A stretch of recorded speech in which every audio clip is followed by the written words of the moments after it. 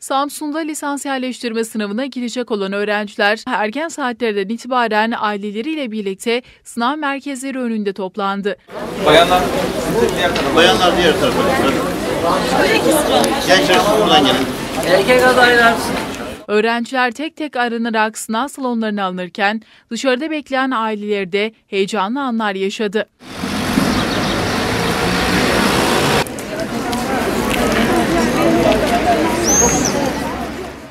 Bazı anneler çocukları için Kur'an-ı Kerim okuyarak dualar etti.